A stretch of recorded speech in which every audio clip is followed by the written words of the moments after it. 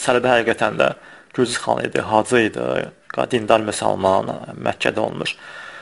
Bəzilərinin deyinə görə ki, o hətta ki Şah Məsudun Səfəvi şahını məğlub elədiyi bu ə, Dərviş Məhəmməd xanın nəslindən oldu. 7-ci nəslindən, yəni 7-ci onu, onu nəslin olubdu. Yəni şəkillərə uzun fikir verin. Hardasa 200 ilə yaxın vaxt keçibdi, amma yenə də şəkillər demək olar ki, ə, unutmurdular öz xan nəslinə. Həqiqətən də ola bilər belə, ola bilər. Hacı Çələbi haqqında bir deminə demək olar. Məsələn, Şirvana hücum elədi, ala bilmədi. Qarabağda hücum elədi, birinci hücum elədi, ala bilmədi Bayat qasını. Amma yenə də ə, məsələn, Gürcü Sarı Kartlı-Kaxaydiya çarlığına qarşı onun 3 dənə qələbəsi həqiqətən də çox möhtəşəmdir. Fikir verin. Gürcü sarığı bildiyiniz kimi o dövrdə Gürcüstanın tam yarısı, yarısı Kartlı-Kaxaydiya çarlığı idi. Tən yarısı idi Gürcüstanın. Əhalisi çox idi. Böyük ordu toplaya bilirdi. Ona görə çox təəssüf ki, İrəvan xanlığı da, Gəncə xanlığı da, bunlar sonra Şəki, Şəmkir, Qazax, Şəmşəl, Şəmsəddin Sul, Borçalı sultanlığı ondan asılı olublar, vergi verirlər. Çox təəssüf ki. Amma Hacı Çələbi 3 dəfə İraqlılarla Teymuraza, Kartlı-Kaxayda çarlarına qalib gəlir. Həqiqətən möhtəşəm. Təsəvvür Azərbaycan 20 xanlığa bölmüşdü Azərbaycan. 8 sultanlığa 5 məliklik var idi. Arası 33 yerə bölmüşdü. Təhcə Azərbaycan bir xanı, bir xanlığa Gürcüstan tan yarısını, yarısı o yarısı darmadağın eləmişdi. İraqlının Teymuraza. Yəni həqiqətən onlara qarşı qələbəsi çox möhtəşəmdir. Ən birinci məsələn baxanda hadisə 1751-ci ildə toqquşurlar da Hacı Çələbi xanın qoşunları ilə Kart Teymrazın qoşunları şey Car tərəfdə Cara, Cara hücum edəndə, yəni Cara əvvəllər də hücum eləmişlər, hətta Səfəvilər dövründən əvvəllər o gözlər.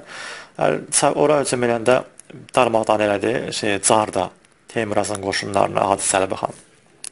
İkinci dəfə bu indi söhbət gəlir çıxır bu Qızılqaya xəyanətinə. Qızılqayada yəni Pənah xandı, Sonra Pənah xandı,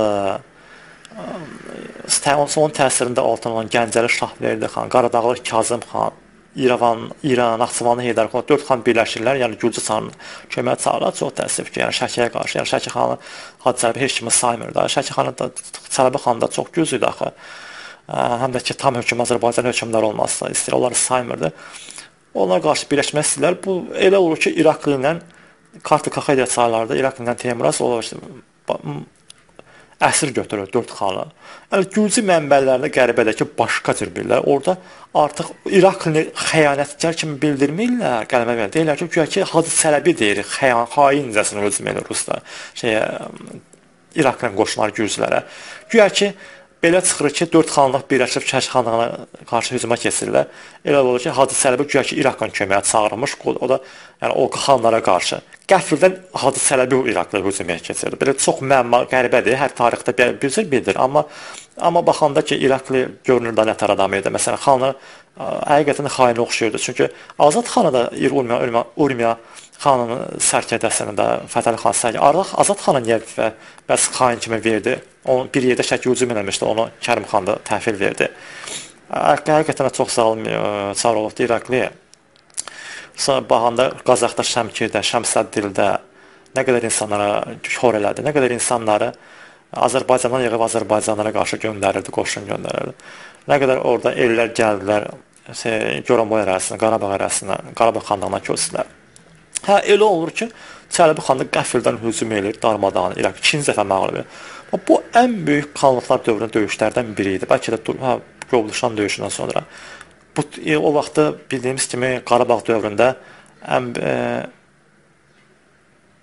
bildiyimiz kimi Qarabağ e, xanlıq xanlıqlar tarixinə ən çox e, şey Qarabağ xanlığı tarixçilər yazmışdılar da. Ən çox Mirzə Adıgözəl bəy Cavanşir, Camal bəy Cavanşir, sonra Üçüncü ən çox Bakı Abbas Qulava Bakıxanov yurdu. O ta o dövrə yaxşı yazıb tarixdə. Sonra Şəki xanlığının tarixində də yazılıbdı bu xanlıqlar dövrünə aid qiymətli məlumatlar var. Bir də ki, ruslar da Azərbaycanda olan hadisələri çox izləyirdilər.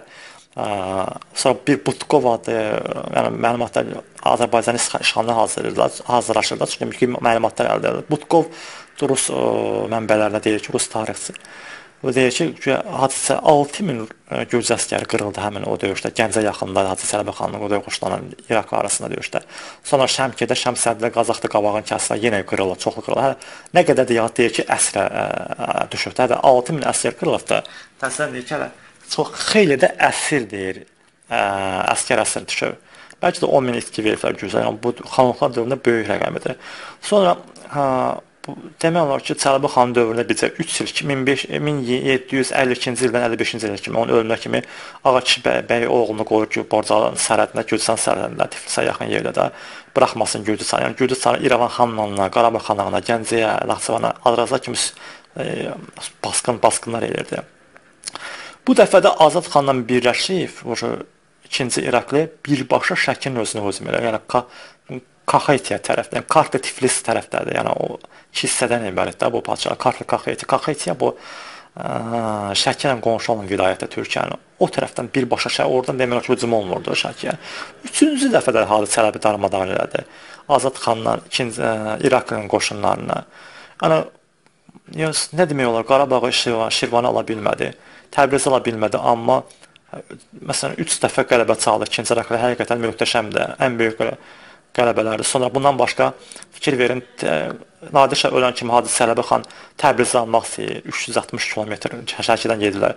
Gəncəni ala bilmir, Şəkini Təbrizi ala bilməsələr də, amma yenə sonradan Əmir Aslan xan Cənubi Azərbaycan xanlıqlarını birləşdirən bir canı Şəkiyə qoşun çəkir, 10 qoşunlara məğlub edir. Hətta bu döyüşdə nəsə qəribədir ki, Hacı Sələbin özü döyüşmür sərkərdə kimi oğlunu göndərir, oğlu ölür bu döyüşdə.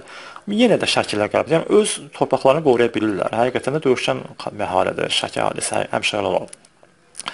Bir də ki bu Hacı Səlbi xanının bu Qarabağ xanlığına hücumu Pənah xan da çox Qarabağ xanlığına yavaş-yavaş keçmək olar. Pənah xan hansı ki Nadirin sərkərdələrinin də Cavanşir, Sarıcalı, Qarabağda bu Tər-Tər Bərdə tərəflərdə o yaşayır Cavanşir elə. Fikir 32 Cavanşir. Fikir verin Deməli Şəki Şəki bir də Şirvan xanları hücum eləyir Qarabağa. Həmin dövrdə Qara Pənah xan xanlıq yaratmışdı. Bayaq qalsın tikmişdi də Qarabağda. Fikir 4 dənə 5 dənə məliklik var idi. Erməni məlikləri var idi Azərbaycan Qarabağda da o dövrdə. Yəni Gülüstan Talış məlikliyi indi keçmiş Şamiyan Şamiyan rayonundaydı. Sonra Çilebet məlikliyi idi hansı ki bu Ağdərə rayonundaydı və yaxud da Laçın Xaçındı da. Xaçın məlikliyi Laçın bir Kəlbəcər arasında idi. Sonra da ki bir də Talışdı, Xaçındı, Çiləbirdi. Bir də o birisi ikisi Xəmsə məlikləri. Dizak məliyi hansı Ağdam tərəfdə idi. Hə, bu 4 qaməliklərə qarşı 5, biri xidmətlə müttəfiq olur, 4-ə qarşı döyüşür. Onlar da çağırılır Şəki, yəni Pənəxan burada qaladı ki, ona qarşı. Yəni kim Qarabağ hücum edirsə, onların tərəfində döyüşür də erməni məlikləri. Güya təsəvvür eləyin, Şirvan Şəki xanlığı Qarabağa hücum eləyir. Ondan başqa Ərəş sultanlığı, Qəbələ sultanlığı, İlisu sultanlığı, Carbalakan cəmaatlığı Şəki xanlığına asılı idi. Yazılıb ki, Mirzə adı gözəl bir Cavanşir deyir ki, Dərbətdən Şirvan kürə kimi Şirvanat qoşunu cəm eləyir. Dərbətdən hətta Cənubi Dağıstanda Şahid Çələbi ehtimalki qoşun yığmışdı. Bir də Şirvan xan. O dövrdə görün nə qədər qüvvəyə qarşı 4 dənə erməni müəllim fikir verin. Şəki Şirvan xanlığı, 2 xanlıq, 3 sultanlıq, 5 elədi. Şəki Carbalakan cəmaatı 6. Sonra 4 erməni 10, 10, 10 10 kiçik dövlətin, Qafqaz dövlətinin qoşunlarına qarşı Pənahxan nətən igidcəsinə döyüşür. Yəni həqiqətən çox tə, tə həqiqətən çox maraqlıdır. Gör, ona qədər öz böyük qüvvəsi də olmur. Deyir, mənbələrdə yazır ki, məsələn, Pənah xan Gəncəyə, məsələn, İrəvana hücum edən 4000 qoşun olub, böyük qoşunu ordusu da olmurdu Pənah xan. Təzə çünki xanlıq hələ təzə yaranmışdı. Gör, nə qədər böyük qüvvəyə qarşı ə, yenə müqavimət göstərirdi. Yəni ala bilmirdi. Hətta Bayat qalasına elə çıxışlar elə çıxır ki, yazır ki, Şəki Şirvan qoşunlarının eşkəklərin, atların qatırlarını da hamısını gətirirlər qalaya, deyir, soyurlar, şəkə, onlar bir ay mühasirə alır, şahid sələbi ala bilmirlər. Belə məhsul kəlamı olur, məsləhət məsələdir. Pənah xan bir bəy idi, biz yəni xan ev getdi və yaxud da sikkəsiz gümüş idi, biz sikkə vurduq getdi. Həqiqətən də ümumiyyətlə baxanda qoşuların sayı nə qədər ola bilərdi? Maraqlıdır. Məsələn, o dövrdə Azərbaycan xanları bəzi 10 min, 12 min, bəzi 25 minə yaxın, məsələn, Qubaş, Şirvan xanlıqları, xanlıqları 25 minə qarşı 25 minə yaxın əsgər toplaya bilirdi. Məsələn, qüvvələri hesablayanda 10 kiçik Şirvanla Şəki xanlığı 25 minə yaxın qoşun toplaya bilirdi. 50 min eli.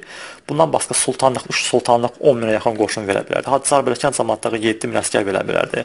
Dağıstandan Muzlu döyüşçülər gələ bilərdi. 4 erməni məlikliyinə qədər qoşun toplaya bilərdi. Məsələn, erməni mənbələrdə də bildirir ki, 5 məlili 60 minə yaxın qoşun toplayırdı, amma bu biraz şişirdirdilər da. 1 məlili 12 min qoşun toplaya bilmir. Xanlıqlar Bakı xanlığını, Gəncə xanlığına boyda ordusu olmur. Təbriz Təbriz boyda böyük şəhərdə 10 min qoşun olur Təbriz xanlığı. Yəni Sözüm nə gətirirəm? Bir neçə min ola bilərdi. Dördü bir yerdə bəlkə də 15 min qoşun tapar. Təsəvvür elin o boyda qüvvəyə qarşı bəlkə bilmir də nə qədər dəqiqlə yazılmıyor dövr, nə qədər qoşun hücuma keçib, Qabayat qalsa mühasirə. Bəlkə də 20 min olubdu. Bəlkə də 30, 40, 50 min, yəni dəqiq bilmək olmur. 50-60 min də ola bilər. Çünki o boyda o boyda kiçik dövlət olsa 10 dənə dövlət idi. Yəni bununla da Pənahxan tab gətirir. Yəni həqiqətən də çox cəsur sərkərdə olubdu Pənahxan. Sonradan qoşun geri çəkilir. Yəni son Qarabağ xanlığı Pənahxan dövrünə sonra bəzi yerlərdə ələ keçir. Naxçıvan Qaradağ xanlığı ondan asılı olur. Gəncə xanlığına toxunanda Gəncə xanlığı demək olar ki, ya e, Qarabağ xanlığından, ya Gürcü sarlığından, Qafqaz sarlığından asılı olubdu.